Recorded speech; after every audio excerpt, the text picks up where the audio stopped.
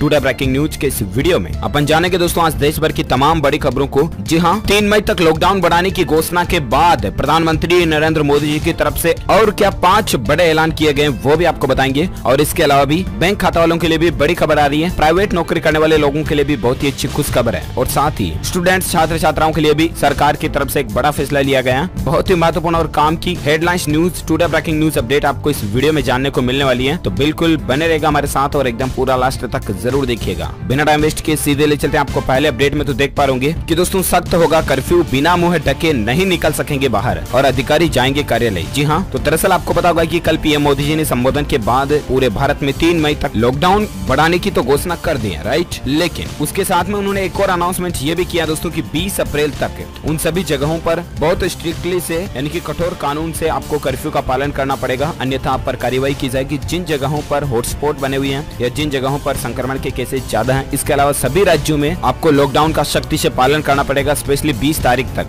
वरना आप पर कार्यवाही भी की जा सकती है। इसके अलावा मुँह पर मास्क लगाए बिना आप बाहर नहीं जा सकते हैं। तो ये कुछ नियम है और इसके साथ ही अपडेट देख सकते हैं दोस्तों की हमारे देश में इस बीमारी से जान जाने वाले लोगों का कुल आंकड़ा जो है ना दोस्तों, वो दस से भी ऊपर पहुँच चुका है। वही तीन सौ तिरपन लोग भारत को छोड़कर, इस दुनिया को छोड़कर जा चुके हैं। इसके अलावा दोस्तों वर्ल्ड वाइड ग्लोबली देखा जाए तो इसके ग्लोबली आंकड़े उन्नीस लाख उनपचास हज़ार से भी ज़्यादा पहुँच चुके हैं। चलिए, साथ ही अगला अपडेट आ रहा है दोस्तों वोल्वो कंपनी की तरफ़ से। ग्राहकों को बड़ी राहत दी है। लॉकडाउन के बीच खत्म होने वाली जिन कारों की वारंटी है, उसको आगे बढ़ा दिया। जी अगर आपके भी घर परिवार में वोल्वो कंपनी की कार है और अगर आपकी वारंटी मार्च, अप्रैल में एक्सपायर हो रही है तो उसको कंपनी ने एक्सटेंड कर दिया और आगे बढ़ा दिया।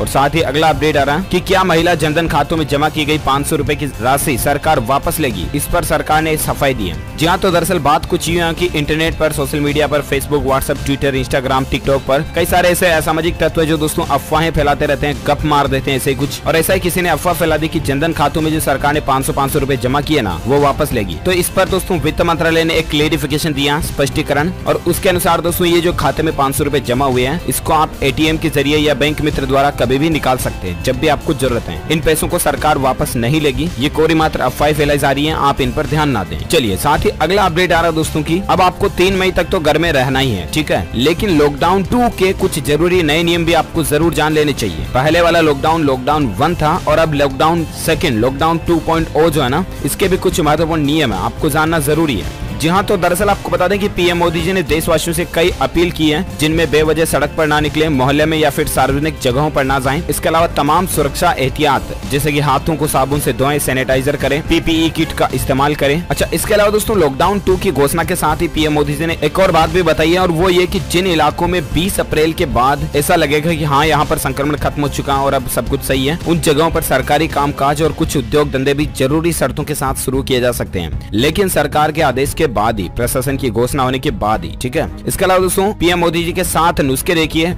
देशवासियों से अपील की है, अपने घर के बुज़ुर्गों का विशेष आप ध्यान रखें। लॉकडाउन और शारीरिक दूरी का पूरा ध्यान रखें। अपनी इम्यूनिटी बढ़ाने के लिए गर्म पानी का सेवन करें। Aarogya Setu mobile application download करें और जितना हो सके गरीब परिवारों का ध्यान रखें। किसी को नौकरी से न निकालें, जो प्राइवेट ऑर्गेनाइजेशन वगैरह चलाते हैं और जिनके यहाँ पर कोई वर्कर जॉब करते हैं तो उन लोगों से अपील है की नौकरी से किसी को ना निकालें। और उन लोगों का सम्मान करें दोस्तों, जो की आजकल हमारे देश में इस बीमारी से लड़ने में लोगों की हेल्प करें सहायता करें जैसे की स्वास्थ्य कर्मचारी, सफ़ाई कर्मी वगैरह वगैरह। तो ये कुछ बातें और साथ ही अगला अपडेट आ रहा है कि महाराष्ट्र में दसवीं बोर्ड की बच्ची परीक्षाएँ और नवी एवं ग्यारहवीं की दूसरे सत्र की परीक्षाएँ निरस्त हो चुकी हैं। शिक्षा मंत्री की तरफ़ से ये ऑफिशियली ऐलान कर दिया गया। महाराष्ट्र राज्य सरकार की तरफ़ से बड़ा फैसला लिया गया। दसवीं बोर्ड की जो परीक्षाएँ बच रही है, इसके अलावा नाइन्थ और इलेवंथ के एग्ज़ाम नहीं होंगे। रद्द किए जा चुके हैं और साथ ही अगला अपडेट आ रहा